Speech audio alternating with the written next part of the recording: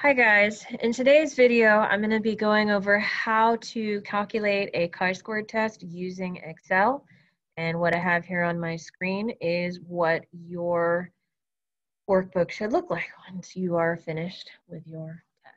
So with the chi-squared test we're looking to see is there a difference from an observed value with an expected value. So in this example experiment, this is sample data that's looking to see, is there the expected ratio of males and females within each grade level of the IB program. Now this is just made up data. This doesn't reflect our school. As you can tell, we don't have uh, 782 freshmen um, our to in total, our enrollment is probably 250 within the IB program. But just, just for um, the sake of you know this example, we're going to go with these numbers. Okay. Now, um, I've opened up another workbook over here, and I've already started typing in some of the labels. Again, uh, you'll notice that this kind of hangs over, so I'm just going to change the column size a little bit to make that fit. Now, um, I'm going to cut and paste the data here.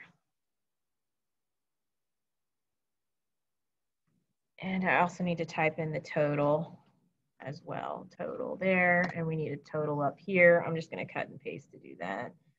Okay. Um, so what needs to happen first is we need to have a total of all our rows and all of our columns. So in order to get a total there, I'm going to insert the formula. This is a new formula, but it's not difficult. So go up to the formulas ribbon and um, you can just go to the auto sum and all we're looking for is a sum. Okay, so equal sum and it's gonna guess that I want D10 to D13, which is correct. And to make things go a little faster, I'm gonna tell Excel, okay, I'm gonna hover over this green dot, left click, hold and drag, and I'm gonna tell Excel to copy that formula all the way over. Now notice this one says zero, and that's because it's the sum of these cells which are empty. Um, but it will fill itself in as we go and do the total for our rows. So the total here, I'm gonna go again to auto sum. Okay, and it says, oh, okay, you want column D and column E. That is correct and you'll notice the, the total change down here. And I'm gonna uh, left click, hold and drag to fill this in, okay?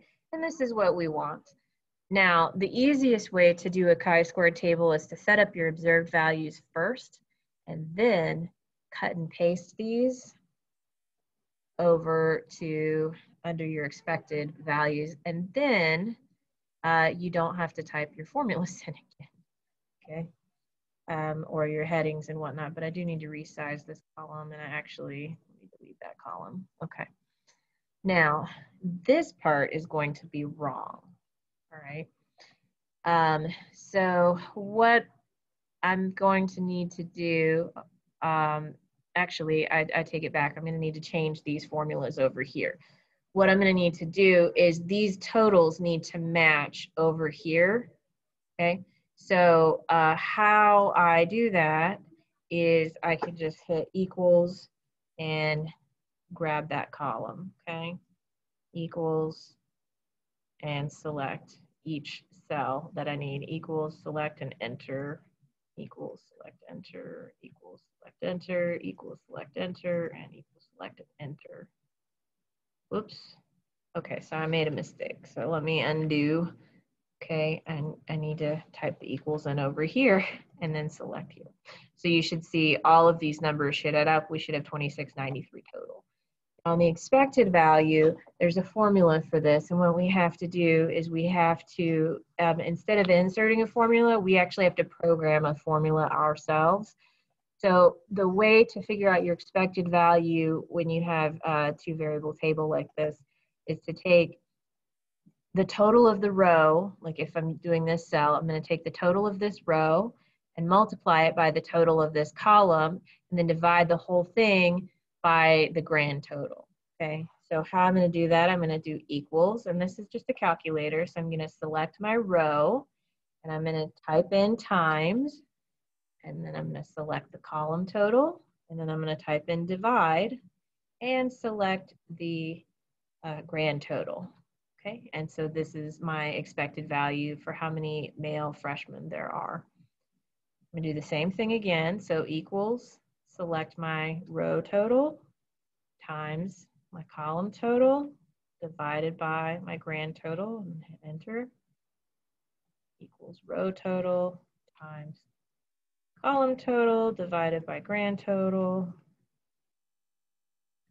equals row total column total divided by grand total.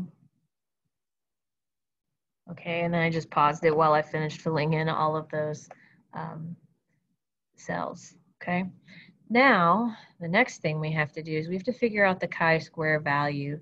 Um, chi-square, just like any of the other um, tests that we're doing, chi-square also will allow me to um, calculate it, it.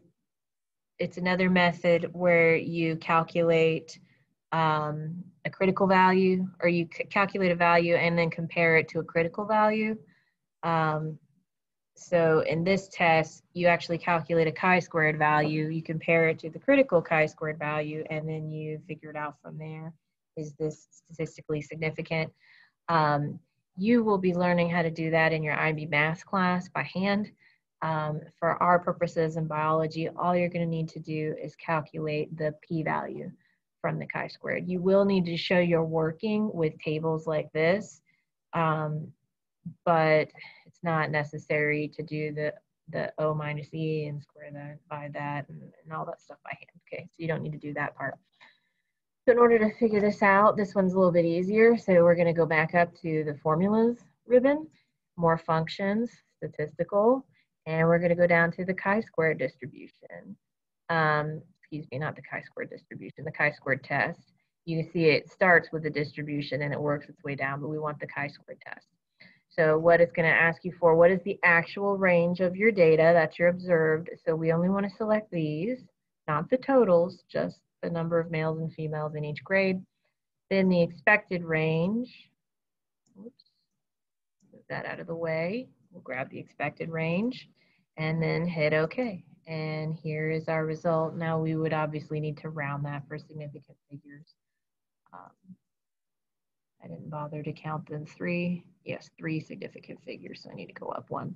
Okay, and it's times 10 to the negative 31st, which is a highly significant value, which would mean that um, our numbers do not reflect the, um, like these are two different data sets. Like we're not actually where we need to be with enrollment.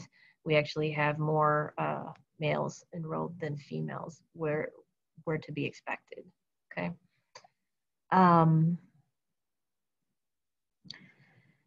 and in this example, um, you could show your data visually via a bar chart.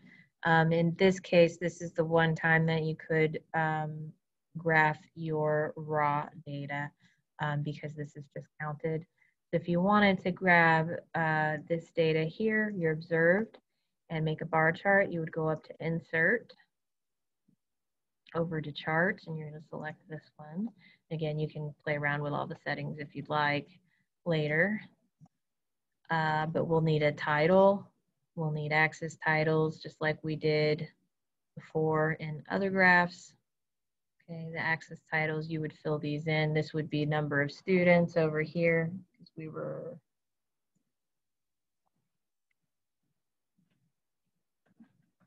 And in this case, um, our series, we would need to select that and then go up to format. And we're gonna format the uh, legend here. Nope, I take it back. We are going to, sorry, go back to select data and we're gonna edit the names of our series. So let me show you where I was. So over here, legend series, we want this not to say series one and two. We want it to say male and female. So we're going to edit and then um, the series name, we're going to left click, hold and drag where it says male, female. Now, it didn't do them both. Okay. Let's try this again. So we're, we're going to just do the male and grab the next one, series two is gonna be the female. There we go.